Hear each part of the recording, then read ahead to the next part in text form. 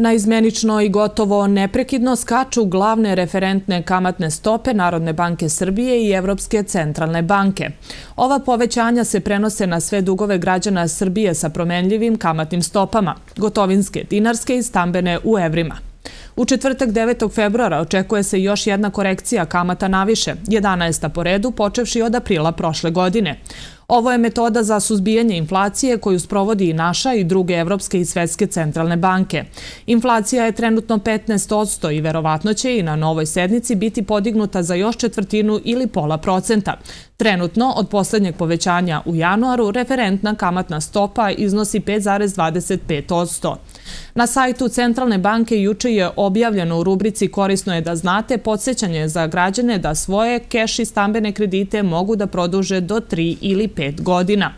Ivana Joksimović iz sektora za kontrolu poslovanja banaka Narodne banke Srbije na početku svog izlaganja istakla je da je navedenim propisima omogućeno banci da bez uticaja na svoj kapital fizičkim licima u finansijskim poteškoćama restrukturira potraživanje po osnovu odobrenog potrošačkog gotovinskog ili drugog sličnog kredita na tri godine dužu ročnost u odnosu na važeće regulatorno rešenje.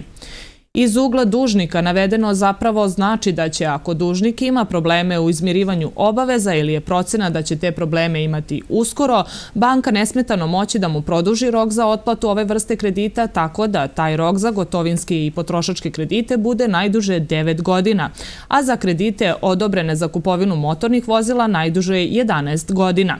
Također u okviru ovih rokova dužniku može da se odobri ustupak u otplati kredita bez obzira na stepen njegove kreditne zaduženosti u trenutku restrukturiranja.